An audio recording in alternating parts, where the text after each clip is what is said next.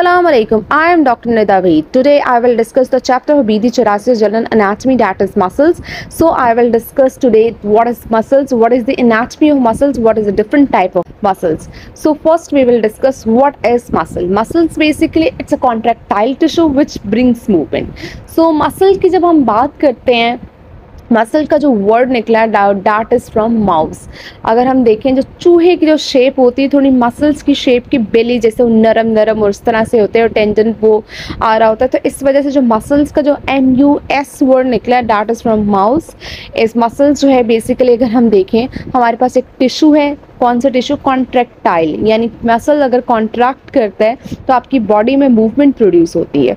अगर हम बोन्स को देखें तो बोन्स ऐसे मूव नहीं हो सकती। अनलेस एंड अनटिल जब तक मसल कॉन्ट्रैक्ट नहीं करेंगे। मसल कॉन्ट्रैक्ट करता है, उसकी बेसिस पे आपकी बॉडी में मूवमेंट प्रोड्यूस होती है। इसलिए हम मसल्स को मोटर ऑफ़ द बॉडी भी कहते हैं। यानी आपकी जो मूवमेंट हो रही होती है सारा काम कंट्रोल करा आपके मसल्स और हमारी पूरी बॉडी मसल्स से मिलके बनी है and we have six hundred muscles in the body over 600 यानी हमारे बॉडी में 600 से ज़्यादा मसल्स हैं। सो so, मसल्स के अगर हम फ़ंक्शन देखें सबसे पहले हम मसल्स के फ़ंक्शन डिस्कस कर लेते हैं। मसल का फ़ंक्शन होता है number one is locomotion and movement for example अगर आपको यहाँ से चल के दूसरी जगह जाना है, अगर आप घर से बाहर जा रहे हैं तो आपकी डैट इज़ लोकोमोशन और अगर आपको कोई भी काम करना है, आप नॉर्मल डेली बेसिस के काम कर रहे हैं डैट इज़ मूवमेंट ये कब पॉसिबल होता है? जब मसल्स मूव करेगा. तो मसल का जो पहला फ़ंक्शन है that is locomotion and movement आप नेक्स्ट फ़ंक्शन है अपराइट पोस्चर आप सारे दिन बैठे रहते हैं और या आप सारे दिन खड़े रहते हैं तो आपकी बॉडी में बिल्कुल उस पोजीशन को अडॉप्ट करके रखती है। That is because of muscles अगर आपके मसल्स काम कर रहे हैं, इसी वजह से आप अपने पोस्चर को मेंटेन कर पा रहे हैं। देन नेक्स्ट फ़ंक्शन है बैलेंस ऑन टू लेग्स हम जो खड़े रहते हैं, हमारे दोनों टांगों के बीच में जो बैलेंस बरकरार रह रह है that is because of muscles next function is support of internal organs जो हमारे इंटरनल ऑर्गन्स हैं जितने भी हमारे जी आई टी है डिफरेंट uh, जो रिप्रोडक्टिव सिस्टम है उन जो जितने भी ऑर्गन्स है डायफ्राम है स्टमक है इंटेस्टीन है सब अपनी जगह पे हैं तो ये सपोर्ट उसको किस वजह से मिल रहा है? मसल्स की बेसिस पे। Controlling valves and body opening अगर हम देखें हमारी बॉडी में डिफरेंट वेल्व्स हैं ये बॉडी ओपनिंग है फॉर एग्जांपल हम खाना खा रहे हैं और जो हमारा माउथ दैट इज़ ओपनिंग और जो स्टमक में जो है स्टमक का वॉल्व ओपन होता है तो फ़ूड अंदर जाता है तो बॉडी में डिफरेंट वेल्व्स हैं। ये जो ओपन ओपनिंग हो रही है कंट्रोलिंग हो रही है that is because of muscles then next function is production of heat आप जब सर्दी में, आपको बहुत ज़्यादा सर्दी लग रही होती है तो आप शिवरिंग स्टार्ट कर देते हैं। तो शिवरिंग के बेसिस पे हीट प्रोड्यूस होती है वो क्यों हो रही होती है? क्योंकि मसल्स की मूवमेंट होती है इस वजह से। Then movement of material along internal tubes जब हम खाना खाते हैं, खाना जो ट्रैवल कर रहा होता है और जो ईजिली पॉसिबल हो सकती है मूवमेंट जितने भी मटेरियल्स हैं, आपकी, कोई भी मटेरियल आपकी बॉडी में डिफरेंट तरह के होते हैं इंटरनल ट्यूब से मूवमेंट किस वजह से पॉसिबल है? Because of muscles so muscles के function locomotion position posture adopt करना बैलेंस मेंटेन करना इंटरनल ऑर्गन को सपोर्ट करना वेल्स एंड बॉडी ओपनिंग को कंट्रोल करना हीट प्रोड्यूस करना और movement of material along internal tube सारे के सारे जो फ़ंक्शन हैं मसल्स के हैं। यानी हम बॉडी के डिफरेंट काम कर पा रहे हैं because of muscles so muscles हमारी बॉडी का बहुत ही इंपॉर्टेंट हिस्सा है।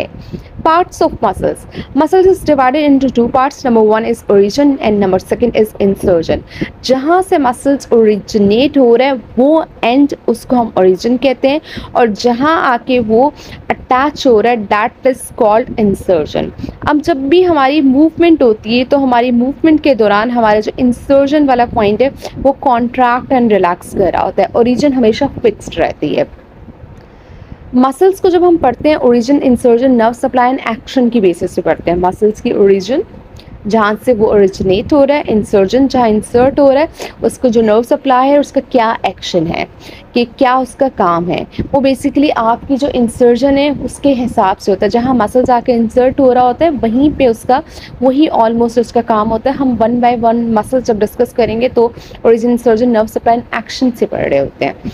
अब हम डिस्कस कर लेते हैं we have three different type of muscles number one is skeletal second is smooth third is cardiac so muscles जो हमारे पास डिवाइडेड है तीन हिस्सों में डिवाइडेड है तीन पार्ट्स में डिवाइडेड है कार्डिक स्मूथ एंड स्केलेटल आप इस पिक्चर में देख सकते हैं स्मूथ मसल्स की आ, किस तरह के हैं कार्डिक मसल्स किस तरह के हैं एंड स्केलेटल मसल्स किस तरह के हैं.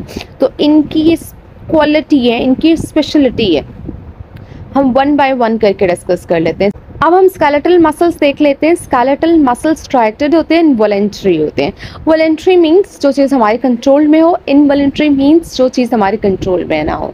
तो स्केलेटल मसल्स जो हमारे होते हैं, हम इनको कंट्रोल कर सकते हैं। स्टार्टेड मीन्स अगर आप इसमें पिक्चर में देखें तो बहुत सारी छोटी छोटी लाइन्स हैं। ये छोटी छोटी जो लाइन्स हैं, इसी वजह से इस मसल को स्ट्राइटेड कहा जाता है। स्केलेटल मसल्स कहाँ होते हैं? हमारे अपर लिम में लोअर लिम में and in relation to the body wall और जो भी, जो मसल्स कंट्रोल हम कर सकते हैं, हमारे स्पाइन में भी होते हैं, जो बॉडी वॉल के साथ जो रिलेशन में आ रहे हैं, वो हमारे स्केलेटल मसल्स हैं. हम अपनी मर्ज़ी से अपना हाथ पाँव हिला सकते हैं, हम अपनी मर्ज़ी से चाहे वॉक कर सकते हैं. डाट स्केलेटल मसल्स किस तरह के होते हैं? It is long cylindrical fibres होते हैं multi nucleated as the name shows के हमारे पास बहुत सारे न्यूक्लियाई होंगे। अगर हम इनकी लेंथ की बात करें तो फ्यू एम mm से फ्यू सेंटीमीटर तक इसकी वेरी कर होती है। तो इसका जो हर मसल का जो साइज़ होता है डिफरेंट होता है। Um, इसमें डार्क एंड लाइट बैंड्स भी होते हैं और कॉन्ट्रैक्शन अगर हम देखें बहुत रैपिड कॉन्ट्रैक्शन भी कर सकते हैं और बहुत जल्दी ये मसल्स फटीक भी हो सकते हैं। फॉर एग्ज़ाम्पल आप वॉक कर सकते हैं, आप जॉग कर सकते हैं, आप रनिंग कर सकते हैं और आप स्प्रिंटिंग कर सकते हैं। यानी जितनी स्पीड में चाहे आप वॉक कर सकते हैं, आप भाग सकते हैं, आप अपनी स्पीड को बढ़ा भी सकते हैं, लेकिन जितनी स्पीड में आप काम करेंगे, उतनी जल्दी ये मसल्स थक जाते हैं, उतनी मस जल्दी मसल्स फिटीग में चले जाते हैं। सो स्कैलेटल मसल्स की नर्व सप्लाई देखें तो दो तरह की होती है sensory fibres and motor fibres sensory fibres जब भी मसल्स की मूवमेंट होती है, देखें, सबसे पहले देखें मसल्स मूवमेंट से पहले मसल्स को फील जो होता है, जो सेंस करता है, वो फाइबर कंट्रोल करते हैं सेंसरी फाइबर्स वो इन्फॉर्मेशन ब्रेन तक लेके जाते हैं, फिर ब्रेन से इन्फॉर्मेशन आती है बॉडी यानी आपके मसल्स के पास क्या मूवमेंट करो. और जो मूवमेंट लेके जो आपके पास आ रहे हैं कि सिग्नल्स लेके आ रहे हैं इन्फॉर्मेशन तो आपको मूवमेंट करनी है that is from motor fibres then बात करते हैं स्मूथ मसल्स की. Smooth muscles smooth muscles as the name show smooth होते हैं, कोई लाइंस नहीं होती और एसोफेगस डिस्टल पार्ट में होते हैं यूरोजेनाइटल ट्रैक में होते हैं यूरिनरी ब्लैडर में होते हैं जीआईटी में होते हैं ब्लड वेजल्स में होते हैं आइस में होते हैं इनवॉलेंट्री है हम अपनी मर्ज़ी से कंट्रोल नहीं कर सकते। आप अपने स्टमक को आपने आपने खाना खाया है, आप अपने स्टमक को बोलें, अभी मूवमेंट मत करो। क्या वो मूवमेंट रोक देगा? नो वी कांट कंट्रोल आपने खाना खाया है, आपने खाना नहीं खाया, आप अपनी मर्ज़ी से स्टमक को जीआईटी के मूवमेंट को कंट्रोल नहीं कर सकते। तो involuntary non striated and uninucleated है। यानी न्यूक्लियस इसके पास एक है।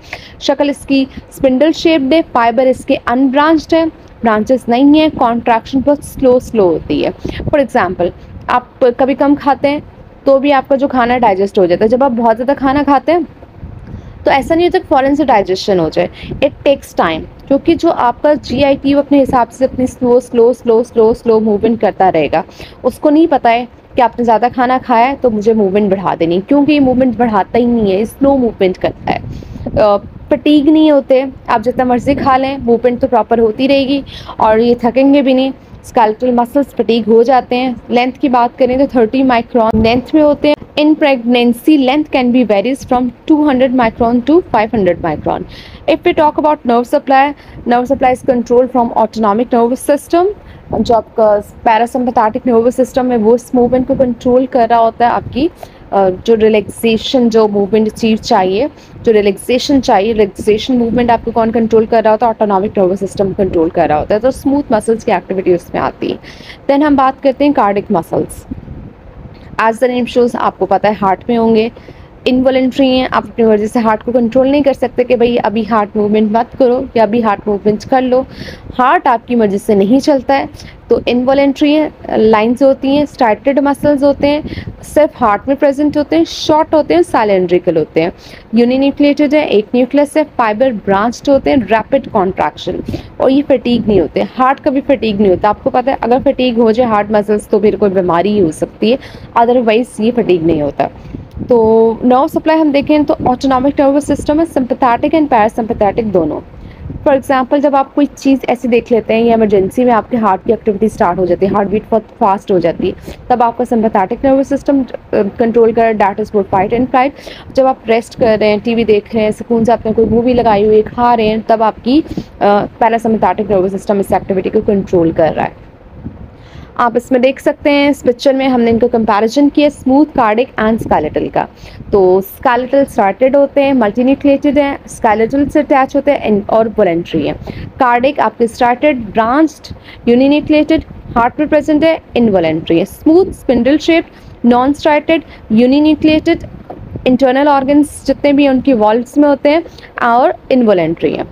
तो इस तरह अगर हम कंपैरिजन करें तो स्केलेटल वॉलेंट्री है और बाकी दोनों क्या है? इनवॉलेंट्री है। स्ट्राइटेड जो होते हैं स्केलेटल एंड कार्डिक होते हैं जबकि विस्टल नॉन स्ट्राइटेड होते हैं डैट स्मूथ मसल्स तो मूवमेंट uh, जो होती है स्केलेटल मसल्स मूवमेंट प्रोड्यूस करते हैं हीट प्रोड्यूस करते हैं पोस्चर कार्डिक मसल्स आपके जो ब्लड पंपिंग के जितने भी काम है वो प्रोड्यूस कर रहे होते हैं। विस्ट्रल जो स्मूथ मसल्स हैं उससे पेरिस्टालसिस मूवमेंट जो आप डी डाइजेशन में हेल्प आउट कर रही होती है blood pressure pupil size and erection को कंट्रोल कर रही होती है।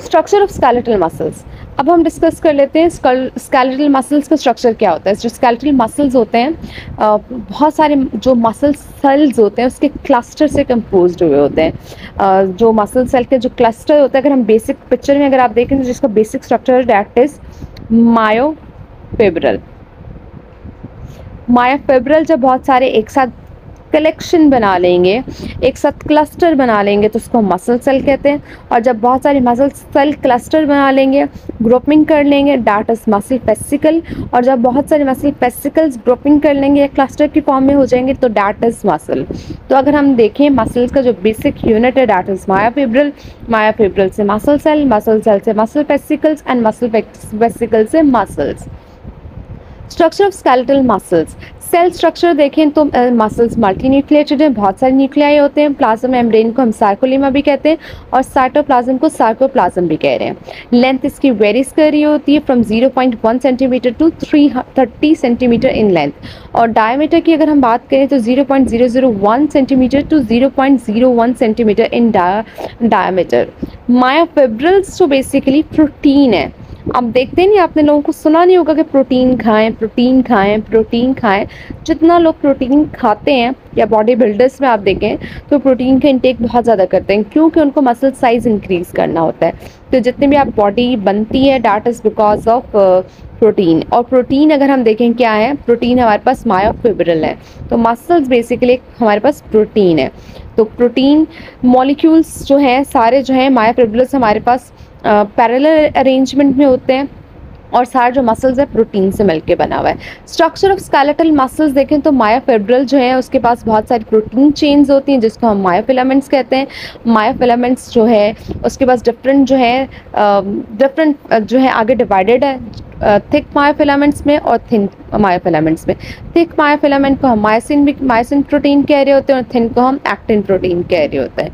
और यहाँ पे हमारे पास dark bands that is A band और light band that is I band वो भी प्रेजेंट होते हैं। ये बैंड्स की मूवमेंट होती है तो आपके जो मसल्स की मूवमेंट कॉन्ट्रैक्शन हो पाती है। इसके बीच में हमारे पास डार्क बैंड्स भी होते हैं और लाइट बैंड्स भी होते हैं।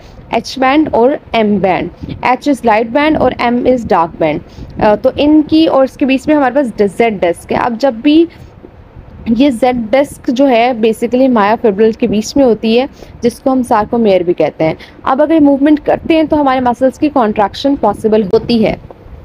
Structure of skeletal muscles. We have three type of layers endomysium, perimysium, epimysium. जो पूरे muscles के अराउंड जो लेयर है that is epimysium और जो पूरे जो मसल फाइबर्स यानी मसल स्पेसिकल्स के सराउंड जो लेयर है डैट इज़ पेरीमाइसियम और जो मसल फाइबर के जो लेयर है डैट इज़ एंडोमाइसियम तो जो मसल फाइबर की लेयर आ रही है जो हम बिल्कुल अंदर की लेयर डैट इज़ एंडो फिर पेरी और उसके बाद एपीमाइसियम तीन लेयर्स हमारे पास होती हैं। basic terminologies related to muscles.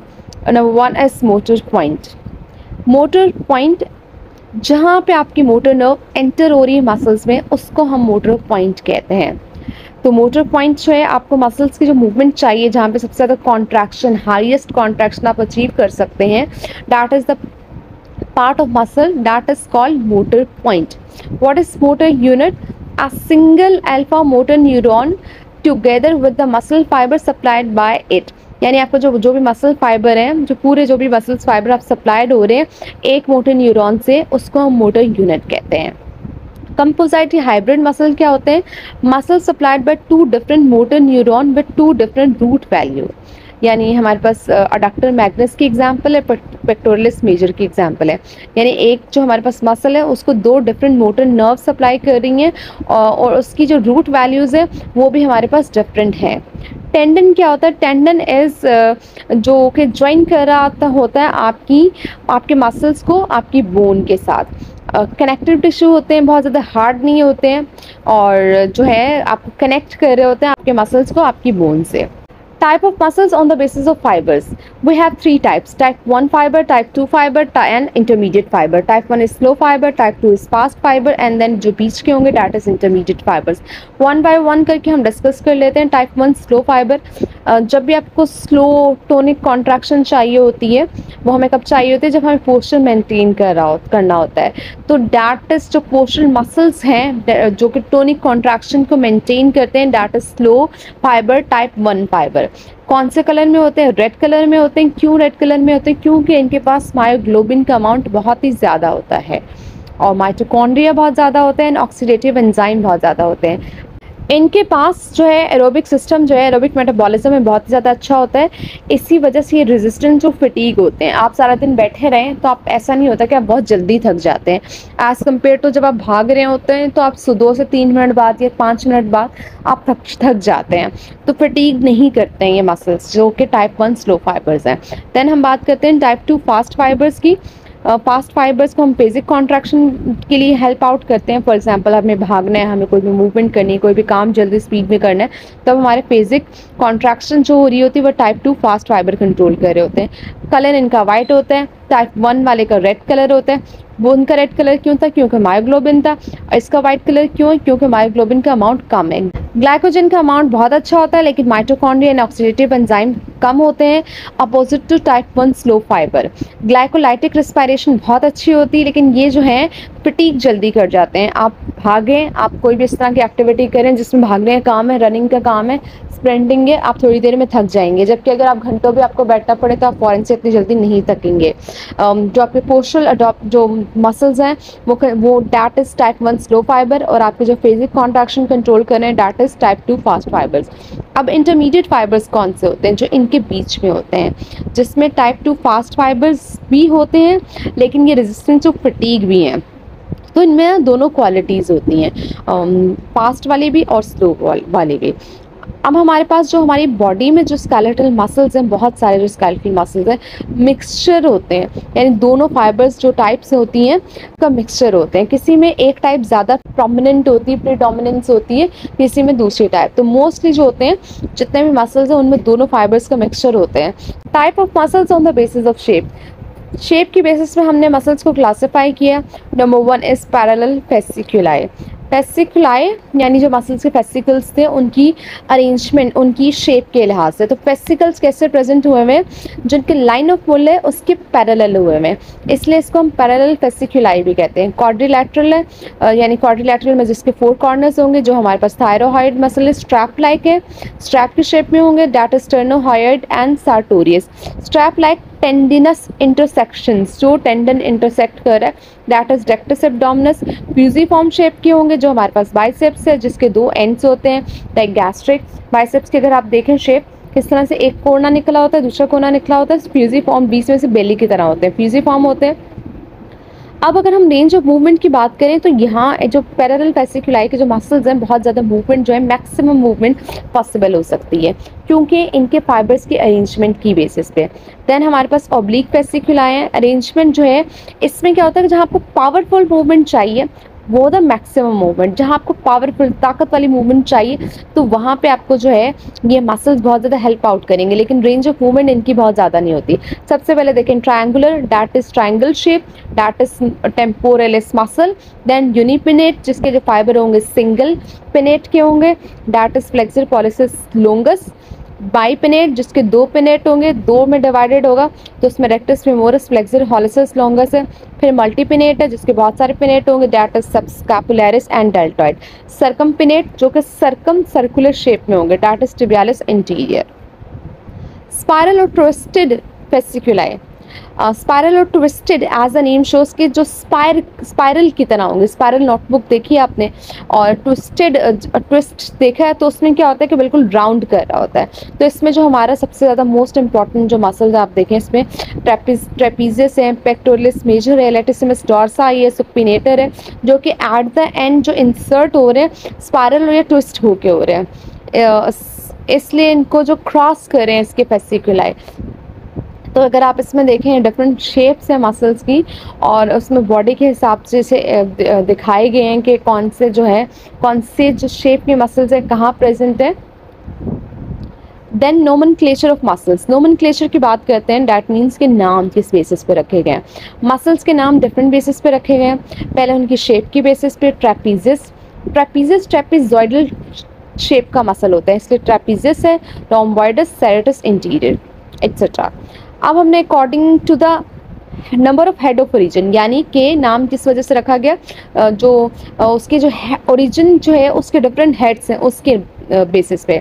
जैसे biceps two heads triceps three head quadriceps इसी तरह डिफरेंट जितने हेड्स होंगे, उसके बेसिस पे हमने क्या किया? डिवाइड कर दिया। ग्रॉस स्ट्रक्चर के बेसिस पे हमने डिवाइड किया semi tendinosus semi membranosus tendon जो आधा टेंडन के, आधा टेंडन के बाहर है, आधा मेम्ब्रेन के, आधा मेम्ब्रेन के बाहर है। इस वजह से हमने उसका नाम रख दिया इस तरह।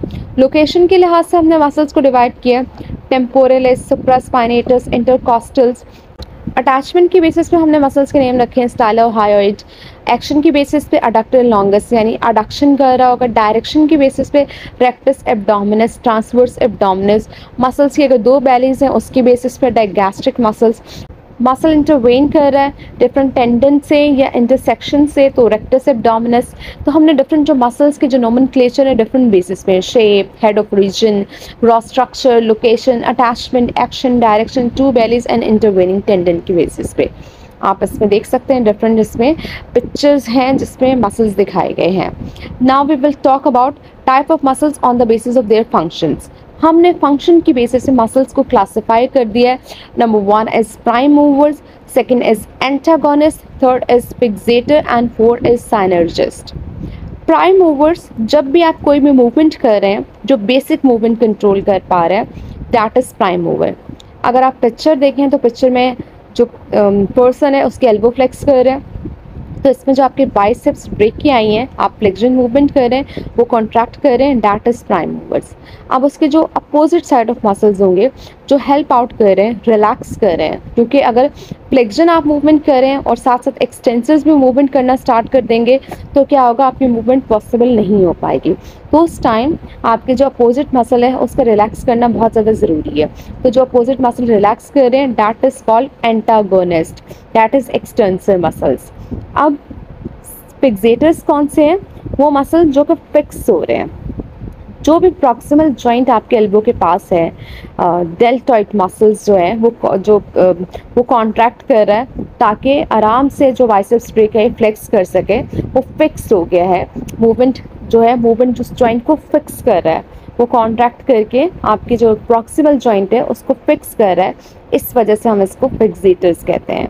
अब अगर फॉर एग्जांपल आपको कोई मसल क्रॉस कर रहा है वन से ज़्यादा दूसरे जॉइंट पे तो जब वो एक से ज़्यादा दूसरे जॉइंट पे क्रॉस कर रहा है तो उसके लिए हमारे जो नियर बाय दूसरा जॉइंट है, उसको भी क्या करना पड़ेगा? फिक्स तो उसमें जो हेल्प आउट कर रहे होते हैं that is synergist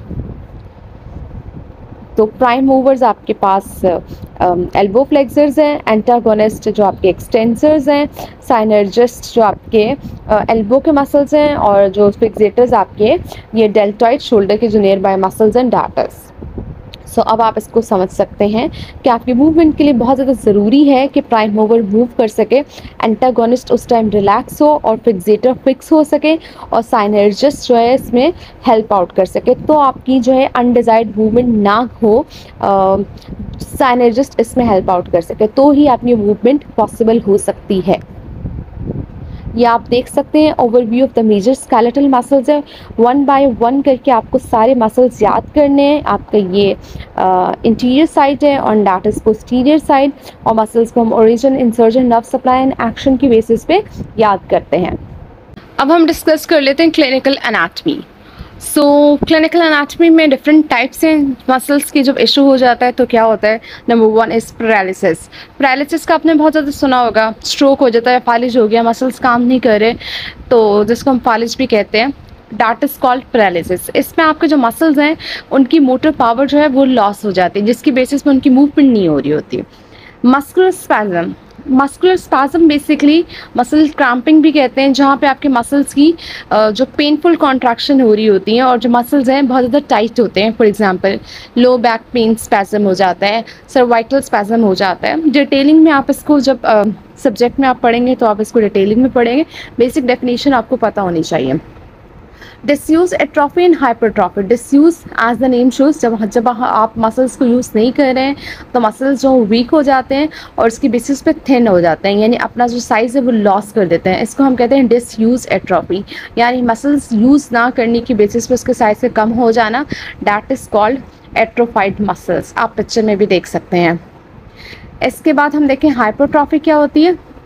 Hypertrophy and hyperplasia hyperplasia basically क्या होता है?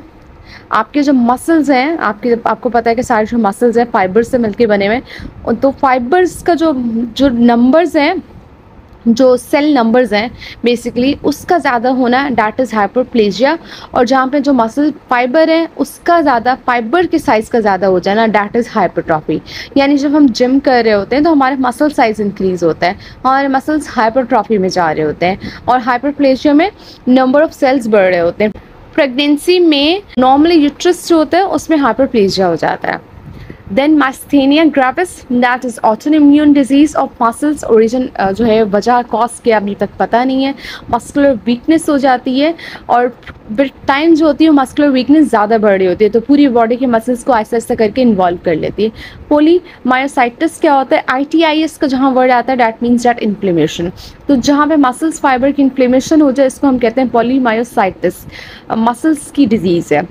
फिब्रिलेशन बेसिकली कार्डिक मसल्स जो हैं, उनकी एबनॉर्मल कॉन्ट्रैक्शन हो जाती है। और उसकी बेसिस पे एक्चुअल फेब्रिलेशन आपने सुना होगा कॉमन है। तो फेब्रिलेशन जो होती है, आपके कार्डिक मसल्स की एबनॉर्मल कॉन्ट्रैक्शन को कह रहे होते हैं। एंजाइनर पेक्टोरस इसमें चेस्ट पेन होता है, इसमें जो कार्डिक मसल्स हैं, वहाँ पे टेम्परेरी स्कीमिया हो जाता है। यानी ऑक्सीजन जो है प्रॉपर पहुँचता नहीं है, जिसकी बेसिस से पेन स्टार्ट हो जाता है और टेम्परेरी होता है, बाद में ठीक हो जाता है। मायोकार्डियल स्कीमिया मायोकार्डियल स्कीमिया में क्या होता है? परजिस्टेंट स्कीमिया यानी कंटिन्यूस स्कीमिया है। डिफरेंट रीजन हो सकते हैं। कोई आर्टरी ब्लॉक हो जाए, एक या एक से ज़्यादा, जिसकी बेसिस पे जो कार्डिक मसल्स हैं, वहाँ पर जो टिश्यूज़ हैं, उनकी नेक्रोसिस डेथ स्टार्ट हो जाए तो माइकार्डियल स्कीमिया एम कॉमन है हार्ट अटैक जिसको हम कहते हैं। और अगर आपका ये कंटिन्यूस रहे तो पेशेंट की डेथ भी हो सकती है।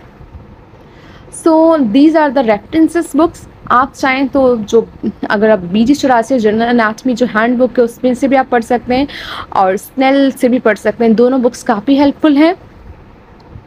That's all about today's lecture if you have any question any query you can comment in the comment section अगर आप चाहते हैं कि मैं किसी और टॉपिक पे वीडियो बनाऊँ तो आप उस भी कमेंट कर सकते हैं। और अगर आप चाहते हैं कि कोई ऐसी प्रेजेंटेशन जिसको पढ़ने में आपको मसला हो रहा हो तो आप मुझे प्रेजेंटेशन आप मुझे भेज सकते हैं। मैं उसके ऊपर भी आपको वीडियो बना दूँगी। अपना ख्याल रखिएगा। Thank you Allah half